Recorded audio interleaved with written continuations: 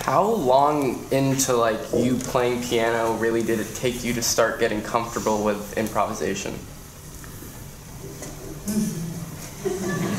Still not. Ask the guys we were in the studio, I'm like, oh, I could do that solo better. Um, It probably took a good 10 years, I would think, Uh, in general. Like, some people even ask, the playing and singing, like, what do you think about the most? Now, I don't think it's one thing.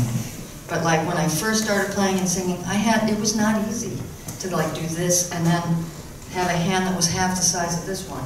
I could only put down like thirds and sevenths, you know, it was so weak when getting it stronger again. I was already gigging because I needed to pay off the doctor bills. So, I'm going to remind us Yes. that we're starting, we have to get, some people may want to be at the 10 o'clock startup, and she needs to start performing in a couple, about 15 minutes. Uh-oh, so, anyhow. so that's it. Oh, well, we're gonna, I'm gonna be doing it over, over there, but I could warm